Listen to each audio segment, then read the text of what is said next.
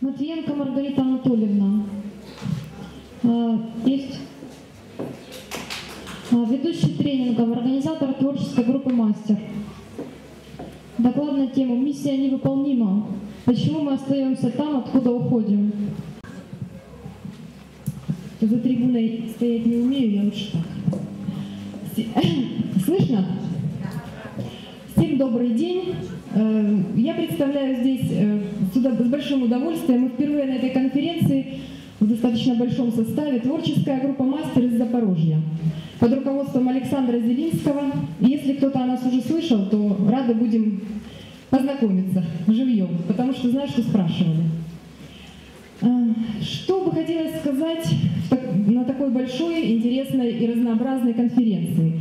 Самое приятное то, что вот она настолько разнообразная, так много разных направлений, разных людей, которые интересуются всем чем угодно.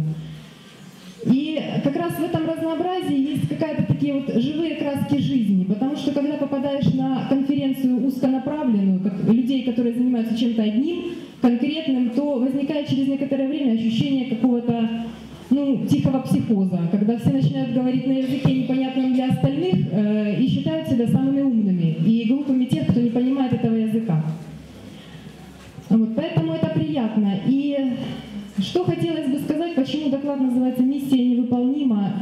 остаемся там, откуда уходим. Здесь есть разные аспекты этого вопроса, но один из них самый простой, такой очевидный, который очень часто происходит, и мы с ним сталкиваемся, об этом уже вот здесь говорили предыдущие докладчики. Когда работаешь с людьми и с людьми, которые э, декларируют какие-то проблемы, которые что-то хотят решить в своей жизни, они обычно приходят, получают какую-то помощь, какой-то разном уровне, разными способами, разными методами. После этого через какое-то время у человека возникает эйфория на некоторый момент, на какое-то время эйфория. Потом э, через что-то проходит, и он говорит, опять то же самое. Очень часто бывает так, что вроде бы, казалось бы, решение найдено, все хорошо, вот у меня все начало получаться, все замечательно. И опять возникает этот вопрос. Почему опять я возвращаюсь к этому? Я вроде бы так от этого хотел уйти, я столько для этого сделал, я так от этого, я так этого избегал. Я э, решал эту проблему, я решал эту задачу, я это, я не знаю, я уже там занимался уринотерапией, я занимался йогой, я занимался духовными практиками, медитациями, я ходил к психологам, я уже все прошел. Почему-то я продолжаю раздражаться, почему-то я продолжаю испытывать эмоции, которые я называю негативными, я продолжаю испытывать дискомфорт внутренний душевный. Почему? Если говорить о бизнесе, то возникают такие вопросы, когда человек говорит, ну, елки-палки, все же правильно, прошел семинары, прошел тренинги, научился составлять бизнес-план, тайм-менеджмент, ну, очень много всего умного. Но елки-палки, опять я, говорит, как наберу себе работников, опять козлы. И я, говорит, такой умный, я все уже знаю, а они, сволочи, ничего делать не хотят. И вот, говорит, удивительно, этих уволил, новых взял, опять то же самое. И говорит, может не совсем то же самое, бывает хуже, бывает лучше, но примерно вот в том же самом поле. И есть еще такой, то есть этот момент, почему мы все-таки там остаемся. И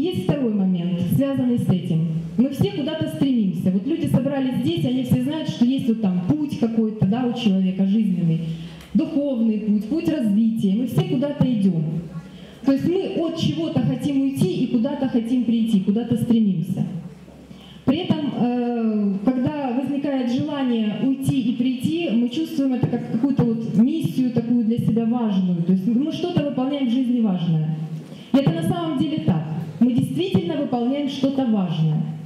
Но проблема бывает в том, и вопрос в том, что, э, что именно мы считаем важным и от чего мы хотим уйти. Очень часто, не очень часто, а практически так и есть. Уходим именно от того важного, что очень важно нам делать в своей жизни. И то, что каждый из нас делает, это является самой важной задачей для него в жизни. И он ее будет делать, несмотря на то, сколько сознания не настраивай, сколько ему не объясняй, сколько ему не говори, какие слова хорошие, а какие плохие. Вот эти чувства правильные, нужно чувствовать любовь. Вот мне это очень нравится, знаете, очень люблю. Вот приходят люди такие духовно продвинутые, любовь это все. Вот надо чувствовать любовь, и проблем не будет. Ну, я бываю иногда злая на тренингах, я просто говорю одну, две, ну максимум три фразы, и человек начинает чувствовать что-то совершенно противоположное. И я ему говорю в этот момент, попробуй сейчас почувствовать любовь.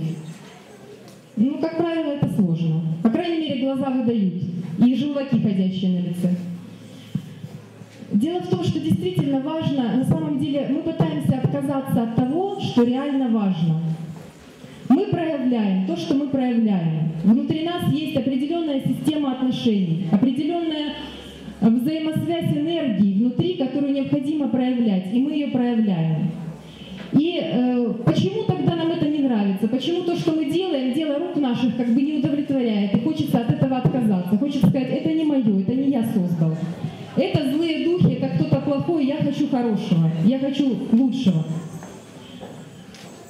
Может быть, потому что мы просто упаковываем это в упаковке. Мы пытаемся найти какую-то форму. Эта форма такая, это не такая, эта форма правильная. Вот если я достигну этого уровня просветления, если я пройду еще пять инициаций, то у меня будет правильная форма. Если я еще вот так вот сделаю, моя форма станет еще более привлекательной. Но на самом деле дело не в форме, а дело в том, что изнутри наполняет эту форму. И как только мы начинаем снимать оболочки с формы, оказывается, что внутри энергия, которая способна действительно очень на многое, которая способна вдохновлять, вести, радовать и вообще просто позволять радоваться жизни здесь и сейчас. Но когда эта форма, ну мы не можем не создавать форму, опять и опять ее создаем. И если, скажем, мы сломали один круг, то тут же строим через некоторое время другой, очень похожий на первый. И именно такой, какой он должен быть. Ну, что с этим делать и вообще надо ли что-то делать? Делать, я думаю, надо. Прежде всего надо жить. Это прежде всего. Надо жить и чувствовать жизнь.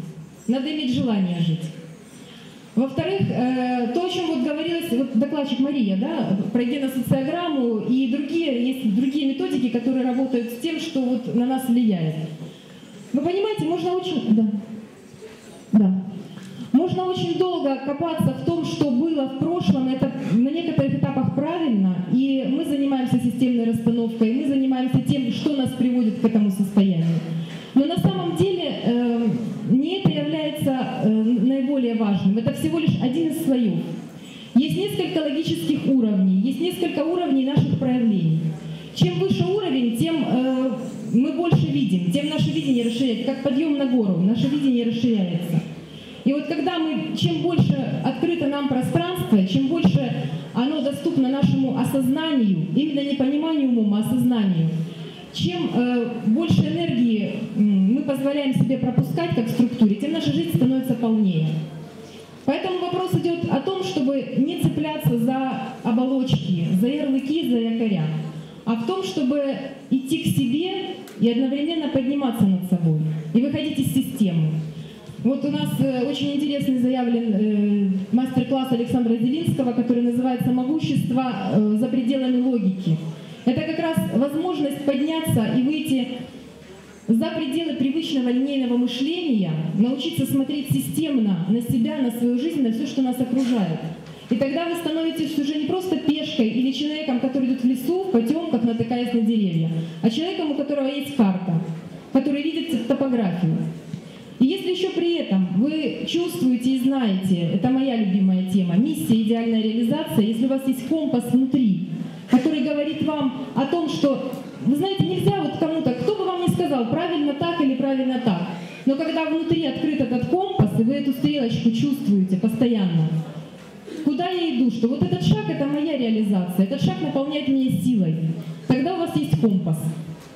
И когда вы со всем этим движетесь, Тогда ваша жизнь наполняется. Тогда вы можете чувствовать каждую клеточку своего тела, как чувствует наша Наталья Кудряшова, которая умеет прекрасно владеть своим телом и тоже здесь может немножечко научить остальных. Э, тогда вы понимаете, что такое вдох, что такое выдох, что каждое дыхание ваше — это ваша жизнь, что в каждое мгновение вы живете, вы есть, и вы такой, как вы есть, просто прекрасный. Ну, спасибо за внимание. Я рада всех